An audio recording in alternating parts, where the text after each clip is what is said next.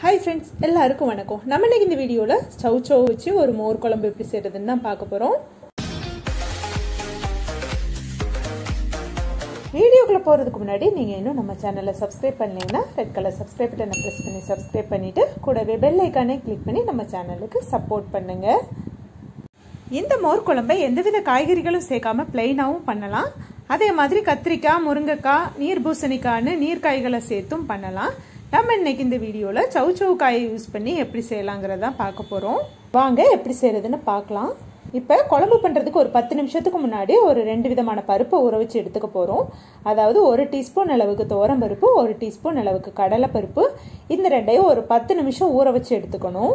குழம்பு வைக்கிறதுக்கு முன்னாடி நம்ம எடுத்து வச்சிருக்கிற காயை வேக வச்சு எடுத்துக்கலாம். ஒரே ஒரு மேரக்காய் இன்னைக்கு எடுத்துருக்கிறேன். மேரக்காய்னா வேற ஒன்றும் இல்லை சவு சவு காய் தான்.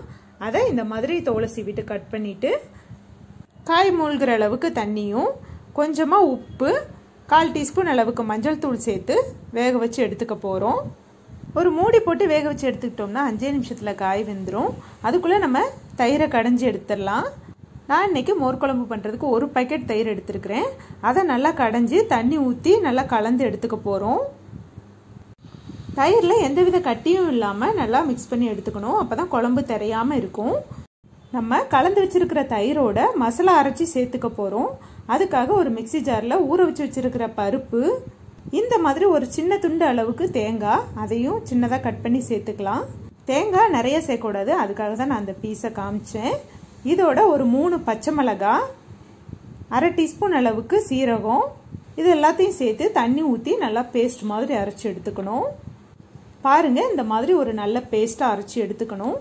இதை நம்ம கடைஞ்சி வச்சிருக்கிற தயிரோட சேர்த்து தேவையான அளவு தண்ணியும் ஊற்றி மிக்ஸ் பண்ணி எடுத்துக்க போகிறோம் ஒரு பாக்கெட் தயிருக்கு இந்த அளவு தேங்காய் போதுமானது.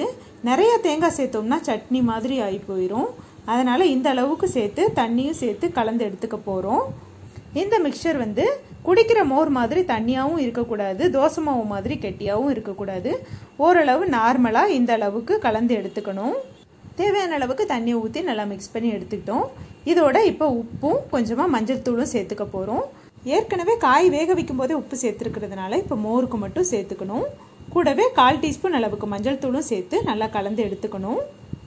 இப்போ குழம்பு வைக்கிறதுக்கு மோரும் ரெடி காயும் நல்லா வெந்து வந்திருக்கு பாருங்கள் இனி குழம்பு வைக்க ஆரம்பிச்சிடலாம். இனி ஸ்டவ் ஆன் பண்ணிவிட்டு அடுப்பில் ஒரு கடாயை வச்சு ஒரு டேபிள் ஸ்பூன் அளவுக்கு தேங்காய் சேர்த்துக்கணும். இந்த குழம்பு தேங்காய் எண்ணெயில் செஞ்சால் தான் நல்லா வாசனையாகவும் இருக்கும் டேஸ்ட்டாகவும் இருக்கும். அதோட அரை டீஸ்பூன் அளவுக்கு கடுகு ஒரு கொத்து கருவேப்பிலையும் சேர்த்துக்கலாம். இதோட நம்ம வேக வச்சு வச்சுருக்கிற காயை சேர்த்துக்கலாம். காயில் தண்ணி இருந்ததுனாலும் அதோட சேர்த்துக்கோங்க. காய் ஏற்கனவே வெந்திருக்கிறதுனால ரொம்பவும் மிக்ஸ் பண்ணணும்னு தேவையில்ல. லைட்டாக மிக்ஸ் பண்ணி விட்டுட்டு நம்ம எடுத்து வச்சிருக்கிற மோரை ஊற்றிடலாம் இனி உப்பு எதுவும் சேர்க்க தேவையில்லை. ஏற்கனவே காயிலையும் குழம்புலையும் உப்பு இருக்குது அதனால் குழம்பு லைட்டாக கொதிச்சு வந்தால் மட்டும் போதும். மோரை ஊற்றின பிறகு ஒரு ரெண்டு நிமிஷம் மட்டும் ஸ்டவ்வை ஹை ஃப்ளேமில் வச்சு எடுத்துக்கிட்டால் போதும். ரொம்ப நொர பொங்குற அளவுக்கு கொதிக்க விட்டுறக்கூடாது. அப்படி கொதிச்சதுன்னா குழம்பு தெரிஞ்சிரும். பாருங்கள் சுற்றி இந்த மாதிரி லைட்டாக கொதி வந்தாலே போதும். இதோட கொத்தமல்லி தலையை தூவி ஸ்டவ் ஆஃப் பண்ணிக்கலாம். அவ்வளோதான் நம்மளோட சூடான சாதத்துக்கு ஏற்ற சுவையான சவுச்சோ மோர் குழம்பு ரெடி ஆகிட்டு இதே மாதிரி நீங்களும் ட்ரை பண்ணி பாருங்கள் ட்ரை பண்ணி பார்த்துட்டு எப்படி இருக்குன்னு மறக்காம கீழே கமெண்ட்டில் சொல்லுங்கள் இந்த வீடியோ பிடிச்சிருந்தா லைக் போட மறந்துடாதீங்க. நம்மளோட சமையல் பிடிக்கிற ஃப்ரெண்ட்ஸ்க்கு இந்த வீடியோவை ஷேர் பண்ணுங்கள் நீங்கள் நம்ம சேனலை ஃபஸ்ட் டைம் பார்க்குறீங்கனாலோ இல்லை இது வரைக்கும் சப்ஸ்கிரைப் பண்ணாமல் பார்த்துட்டு இருந்தீங்கனாலோ உடனடியாக சப்ஸ்கிரைப் பண்ணி நம்ம சேனலை தொடர்ந்து பார்த்து சப்போர்ட் பண்ணுங்கள் தேங்க்ஸ் ஃபார் வாட்சிங்